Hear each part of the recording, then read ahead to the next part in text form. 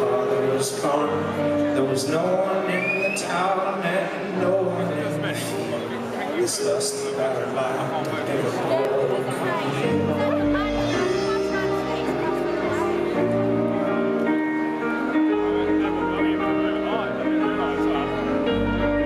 Kicked off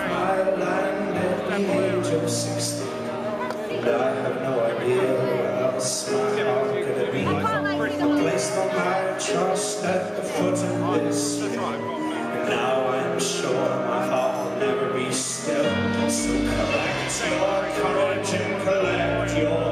Or pray never feel the same.